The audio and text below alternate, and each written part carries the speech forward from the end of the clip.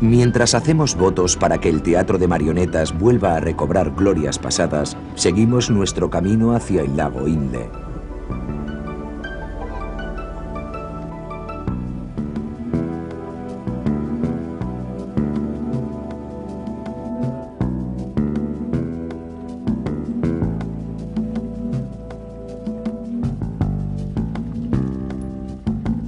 No fue nada difícil toparnos con explotaciones de teca, una de las maderas más apreciadas en todo el mundo por su fácil trabajo y duración.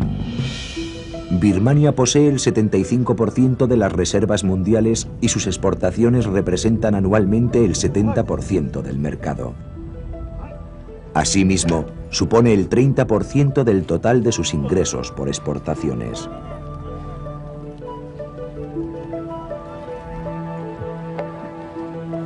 Las explotaciones siguen avanzando a gran velocidad en este rico país, lo que induce a pensar a algunos especialistas que podemos estar asistiendo al comienzo del fin de esta preciada madera.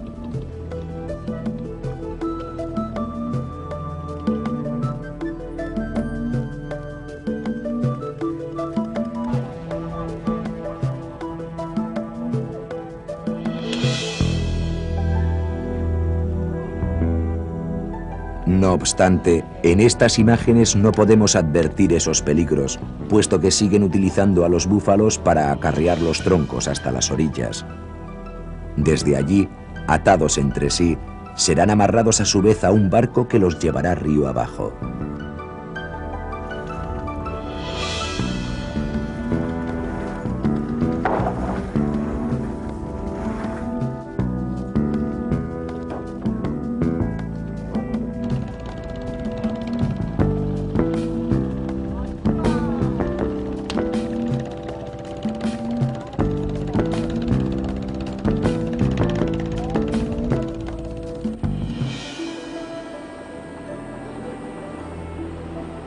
Desde las orillas del río, tomamos un autobús para alcanzar las orillas del lago Inde.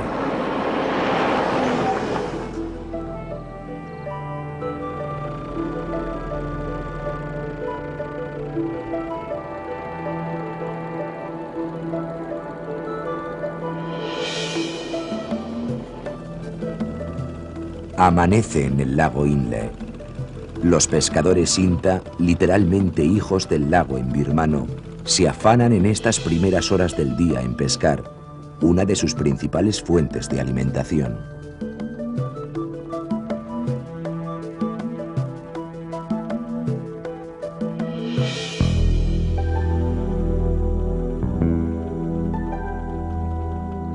Nada más verlos nos llama la atención su estilo al trabajar. Mientras preparan o recogen la red, se mantienen en un difícil equilibrio sobre un pie y el otro, rodeando hábilmente el remo, hace las veces de mano para gobernar la barca con soltura. Estos expertos pescadores son originarios del sur y fueron obligados a vivir sobre el mismo lago empujados por los grupos de la etnia Shan, instalados en sus orillas.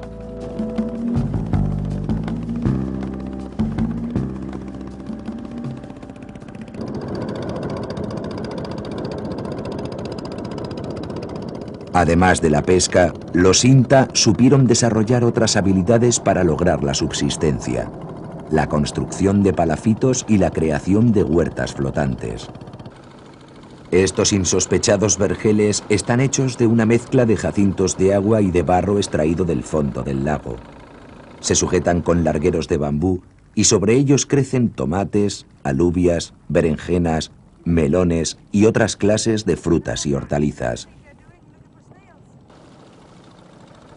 Sobre las aguas del lago tienen lugar todos los años un gran festival que venera las cinco imágenes de Buda conservadas en la pagoda de Paun Dou U. La fiesta consiste en una procesión por los distintos pueblos del lago, llevando las imágenes en un barco con la forma del Karawake, el pájaro dorado de la mitología birmana.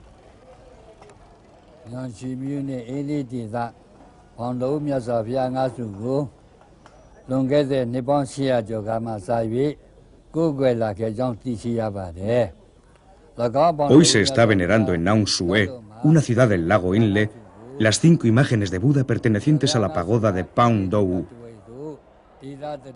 La gente las venera desde hace ya 800 años. En la leyenda que da origen al festival, se cuenta que en una ocasión, cuando estas imágenes se transportaban por el lago, surgió una violenta tormenta que hundió el barco. Después se pudieron recobrar del fondo del lago únicamente cuatro imágenes. Pero cuando se fueron a colocar nuevamente sobre el altar, vieron con gran sorpresa cómo la quinta, cubierta de musgo y hierbas, ocupaba ya su lugar. Desde ese día, únicamente salen cuatro imágenes en la procesión y la quinta se queda como guardián de la pagoda. Este festival se celebra todos los años en octubre y dura 26 días, visitándose alrededor de 21 puntos.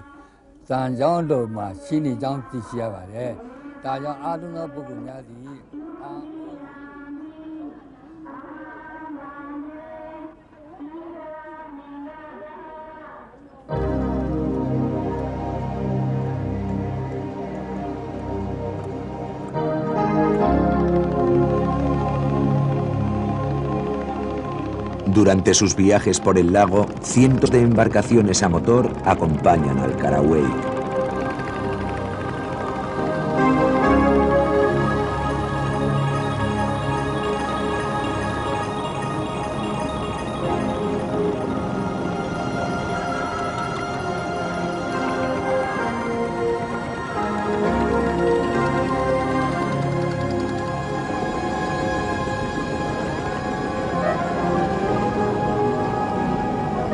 Hasta 17 inmensas canoas impulsadas con los pies de más de 60 remeros arrastran a la gran barcaza dorada.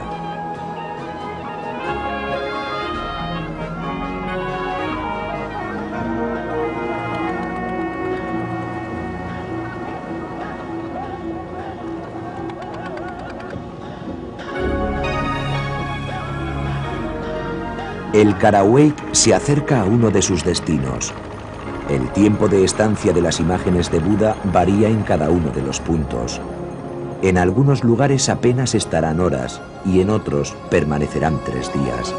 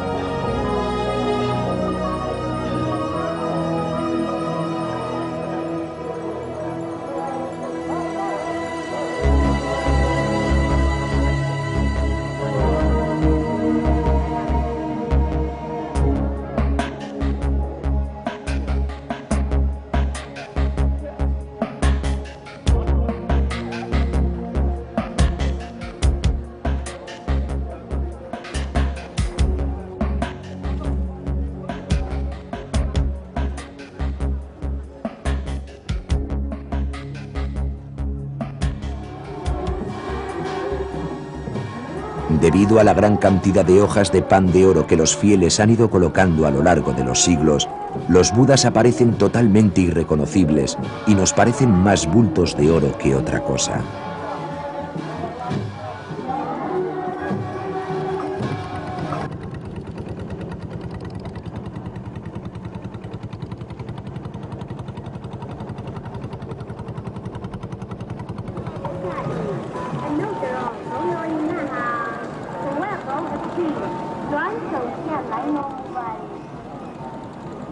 Cuando la procesión comienza una nueva jornada, nosotros la abandonamos en busca de nuevas emociones.